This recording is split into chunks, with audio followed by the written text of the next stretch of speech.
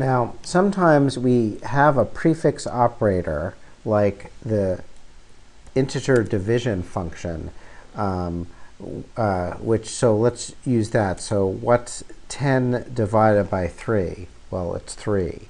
Um, but maybe we don't want to use it that way because that's confusing. So what we can do is we can take a prefix function and if we surround it by backticks, then we can stick it in the middle as an infix operator. Um, while we're on this particular function, the integer division, um, there's a different operator for floating point division.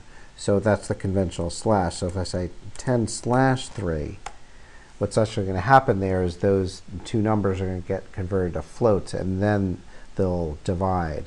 Um, uh, and we cannot, let's see if we can, can we take a floating point 10 and provide and perform the integer division on it? Let's see what's going to happen there. And so actually, what happened there is that we cannot say 10 dot. That's no good. We have to say 10.0 to get the floating point 10. So let's try it again. The floating point 10 using the integer divide and the floating point 3. What do we think is going to happen? So it looks like we could not coerce them down to integers in order to produce, in order to perform the division.